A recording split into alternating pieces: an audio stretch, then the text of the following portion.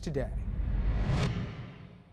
24 counts of murder in the first degree, 116 counts of criminal attempt to commit murder in the first degree, one count is a sentence enhancer, and one count of class 4 felony possession of an explosive device. James Holmes looks the same as he did last week in, in court here. Dazed, confused, and of course with that bright orange hair. Only this time cameras not allowed inside as prosecution laid out 142 charges against him, including two murder counts for each death. Now, when the judge mentioned the death penalty, Holmes looked directly at him. Judge also ordered that prosecutors return the, the journal Holmes had sent to a psychiatrist prior to the shootings, and that journal had been intercepted by the police. Now, the movie theater massacre, it has raised a whole host of questions, including about the issue of gun control in this country. Now, today, two lawmakers, both from our region, announced they're introducing new legislation that will limit the ability to purchase the unlimited quantities of ammo online, no questions asked. Now, the bill, called the Stop Online Ammunition Sales Act, would also require that ammo dealers report bulk sales of ammunition directly to law enforcement. So it's time to close the loophole, loophole that's allowing killers, deranged, insane, and even terrorists to buy ammunition online. The pain does not go away. I can tell you from speaking as a victim. And that Carolyn McCarthy, and before her, Senator Lautenberg. Um, and Carolyn McCarthy, as everybody knows, has a direct connection to this. She lost her husband when he was gunned down on the Long Island Railroad, and her son shot and literally had to learn how to walk all over again. And after that, she uh, ran and has been a member of Congress since. And the issue for her of assault weapons and unlimited ammo, a major issue. But it's not just lawmakers that are speaking out on this issue. Victims of gun violence also say they have had enough. And to help put a face on this, Cheyenne Norman whose four year old son was shot in the head and killed by a stray bullet in the Bronx just a week and change ago. She joined with Reverend Al Sharpton this past weekend as they announced a new effort to stop gun violence, an effort he calls Occupy Corners. I'm glad to know that the people responsible for this is in custody at this point in time.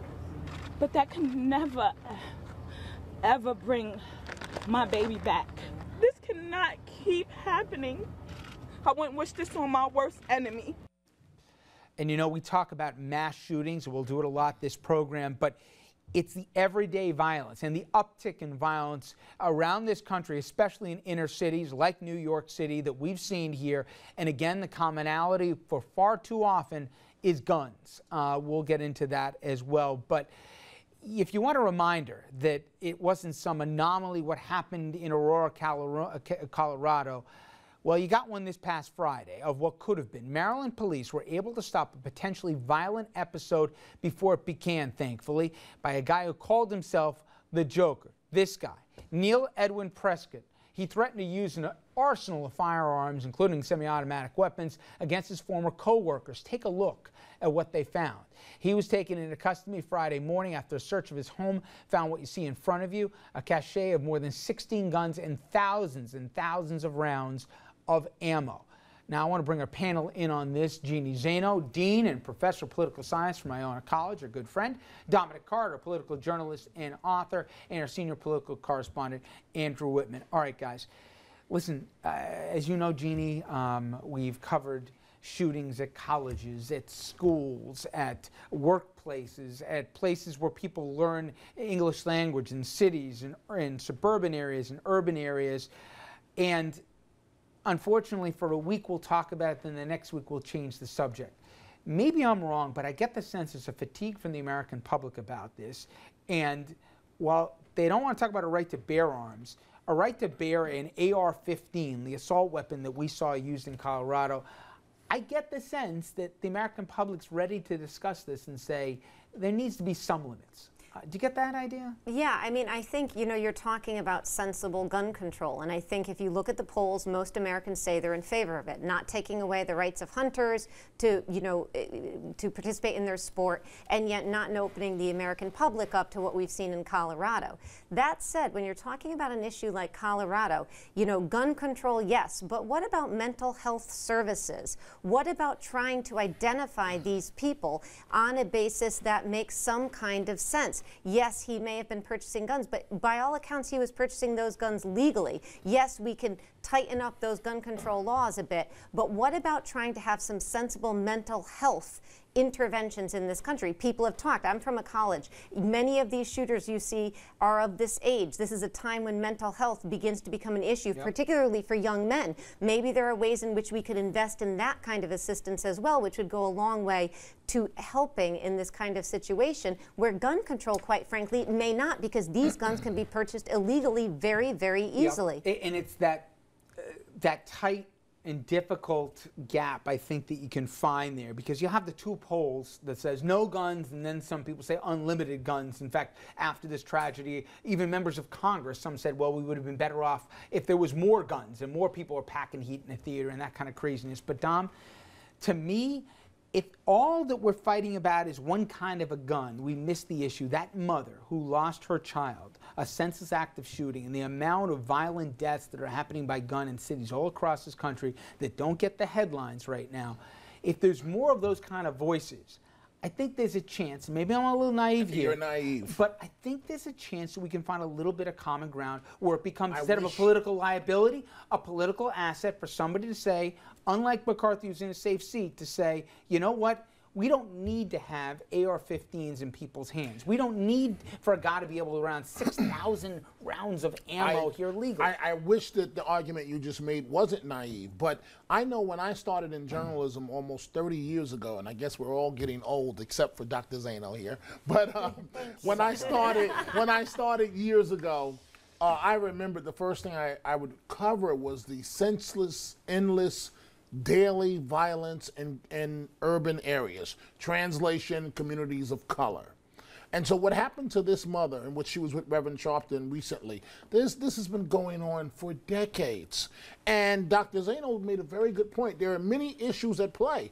And I don't think the NRA is ever going to give in, Richard. They're not going to cave one one iota. What's going to happen is they, they're very smart public relations wise. They go underground when there are shootings like this, and then they pop right back up. And so when she brings up the mental health aspect, yeah. That's something but, that we don't talk about. But see, I, I just want this one yeah, second yeah. because it's important to say that mental health services have been cut and cut and cut to the bone in cities and states across the country. Well, I don't know in this case um, if the cuts played in. I think that there is – we'll get into this, but at least give me just a couple more minutes on this. And, and again, if we could show what we're talking about with this AR-15 and the ammo uh, that uh, this guy got his hands on before that fateful shooting, nobody, I think, in their right mind is going to argue with me that that AR-15 is what ought to be in the regular general population's uh, hands here, especially without the background checks and the idea that somebody on a terror watch list could buy this stuff.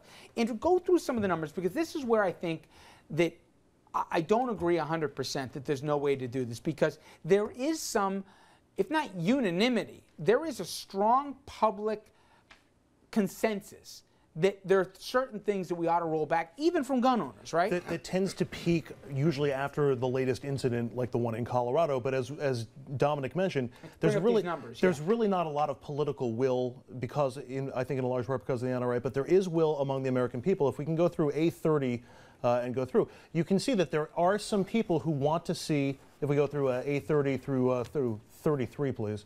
Uh, and there you see, there is some support on high capacity gun magazines like the type that uh, was used in Colorado. As we keep going, assault weapons, 62% support a renewal of the assault weapons ban. And, and there's even support among gun owners and, and other people, 86%, including a majority of, of NRA members, say they support gun background checks, which, so you see, there is an area of common ground, though the political will, I don't think, is there in large part because of the NRA. And I just wanted to follow up on the mental health issue uh, quickly, which is to say, it hasn't escaped my attention that the, the crossover of the people who oppose gun control and oppose healthcare and, and healthcare reform and universal healthcare is almost the same group in its entirety. Well, I just tell you one thing, and we'll leave it at this. If I can, Justice Scalia, who has been, I'd say, one of the biggest defender of gun rights that we're going to find here, and in, uh, in an open-ended uh, Second Amendment. Listen to what Justice Scalia had to say, and this is after the Aurora shooting. He said, obviously, the amendment, Second Amendment, doesn't apply to arms that cannot be hand carried. Now, I've had debates on this show uh, with a former congressman, in fact, last week, who said, well, maybe we should allow uh, something like a bazooka. Um, so the chief, ju- the justice disagrees. He said, it is to keep and bear, talking about arms, so it doesn't apply to cannons. I suppose there are handheld rocket launchers that can bring down airplanes that will have to be looked at. It will have to be decided. And I read that in that if this goes before the High Court and somebody can craft this in a tight enough way that you can still have a right to bear arms, but there are limits, I think the High Court just maybe will be able to reassess what those limits are. And again, maybe I'm being overly hopeful, but I just. I don't, I don't speak for myself here, I don't speak for this table, but I think I speak for most Americans. I'm getting tired of talking about these stories where everybody says after the fact, like Virginia Tech, come on, we could have done better than this. This person shouldn't have been walking around with an assault weapon. This doesn't make sense.